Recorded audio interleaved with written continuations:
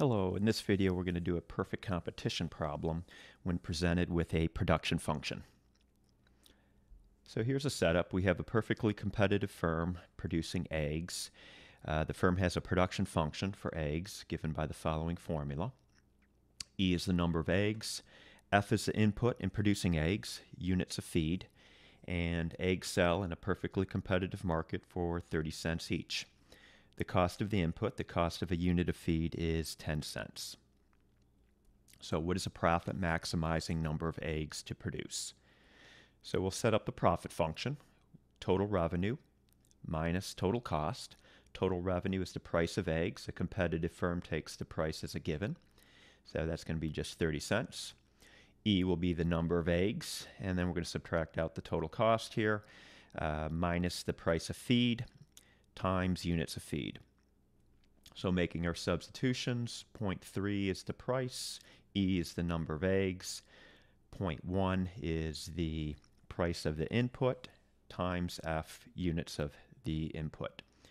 We're going to take a derivative of the profit function, uh, but before we do that, we need to make one substitution. Uh, for this E here, I am going to substitute now in the production function. So substituting in the production function for E, we have a profit function uh, as a function of one choice variable f. So we're going to take the derivative of profit with respect to f units of feed. So doing that, we get the following result. And you'll note I set this derivative equal to zero, trying to maximize here. So uh, we bring the 3 fourths down in front. So 3 fourths times 4 thirds is just 1. So that all disappears.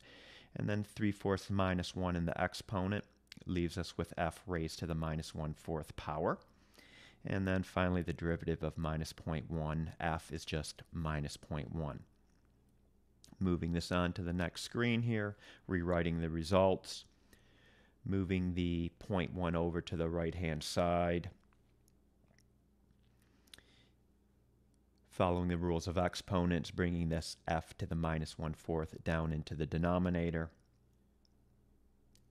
dividing through by 0.1, so 0.3 divided by 0.1 is just 3, and then multiplying everything through by f to the 1 fourth power, we get this result going to raise both sides to the power of 4. So f to the 1 fourth raised to the fourth power is just f. And then 3 raised to the power of 4 is just 81. We're going to take this 81 and plug it into the production function to get the profit maximizing number of eggs, or 36. Uh, before I go, I just want to show you that you know one of the things that's dropping out of the first order condition is this notion that the optimal use of an input will be given by this condition. Price of the uh, the the output price the price of eggs times the marginal product of the input equals the input price. And so you see that right here. 0.3 is the price f is the marginal product of the input and the input price is 10 cents. So basically we got the marginal benefit here on the uh, left hand side and then we got the marginal cost of the input on the right hand side and so we do something up into the point where the marginal benefit just equals mar the marginal cost in order to maximize. All right, that's it. I hope you found this video helpful.